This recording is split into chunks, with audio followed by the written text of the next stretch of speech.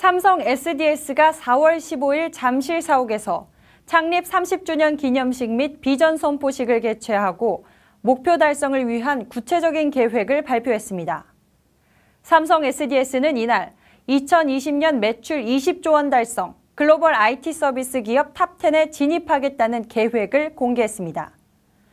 삼성 SDS는 비전 달성을 위해 2020년까지 기존 IT 아웃소싱 사업의 효율성을 극대화시켜 매출을 7조 원대로 끌어올리고 SMAC을 기반으로 물류 업무 아웃소싱, 즉 물류 BPO 사업 매출도 7, 8조 원대로 성장시킨다는 목표입니다.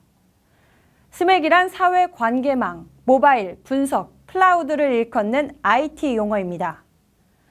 전동수 사장은 전통적인 IT 사 아웃소싱 사업에서 스맥 기반의 솔루션 서비스 사업으로 전환되는 지각 변동을 예상한다며 이것은 삼성 SDS의 새로운 기회라고 생각한다고 말했습니다.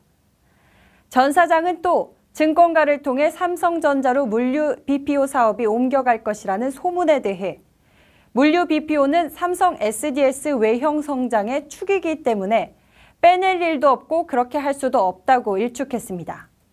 KSG 뉴스 정지혜입니다.